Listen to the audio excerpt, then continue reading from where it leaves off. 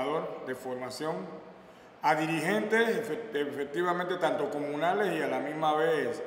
eh, comerciales, en el caso de los buneros, entre paréntesis. Y la intención es tratar de nutrir y mejorar su capacidad de dirigente para efectivamente poder enfrentar las eh, dificultades que vienen de una u otra manera eh, enfrentando.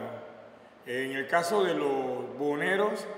ya hay efectivamente amenazas de desalojo, ya se les advierte desalojarlos y a la misma vez no tienen norte después de ese desalojo. Nosotros queremos señalar que los boneros eh, hoy en día en San Miguelito vienen siendo víctimas, uno de la mano de obra extranjera que viene compitiendo con ellos y de muchos extranjeros fuertes que tienen empresas de sacarlos de ahí y colocar a la gente de ellos. Y en el caso de los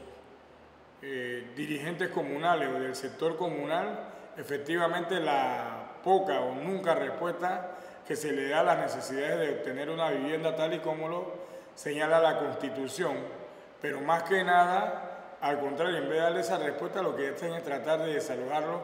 de lo poco o lo mucho que consiguen.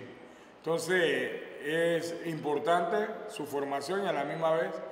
eh, nos ayuda a darle seguimiento a las luchas, a sus reivindicaciones, a sus luchas. Porque ahora sacó a la gente que vende plata debajo del puente. A todos los de San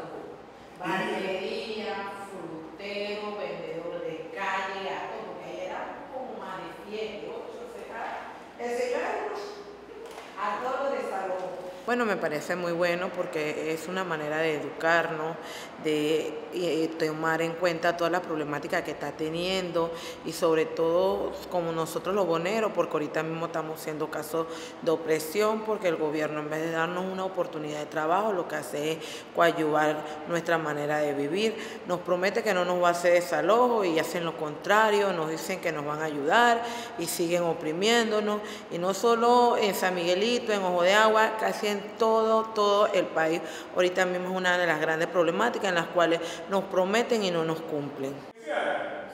A la lucha,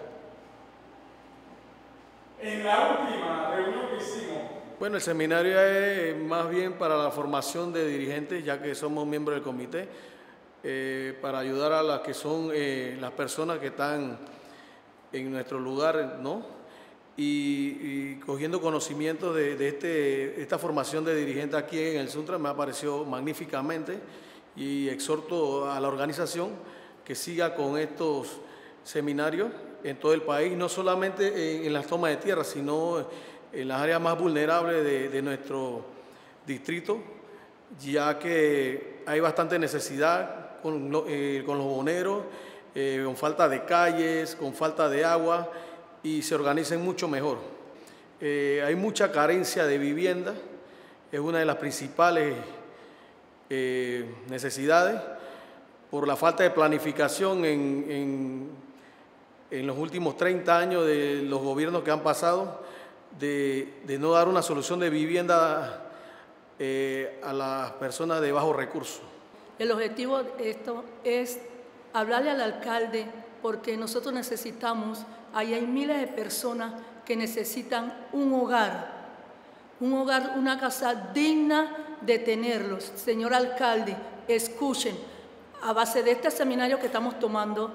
eh, nos ha gustado lo que es la planificación, cómo debe formarse un líder,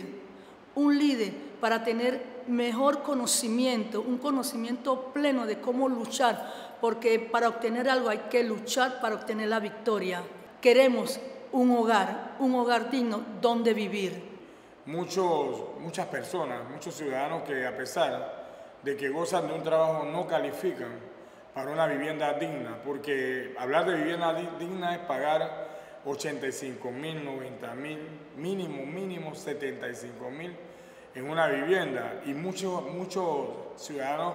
producto del salario que ganan, no se les permite, incluso ni meterse a un banco. También eh, por esa razón optan muchas personas a que cuando hay una práctica de una toma de tierra, producto del estado de precarismo en que viven, la gente opta por esa eh, aventura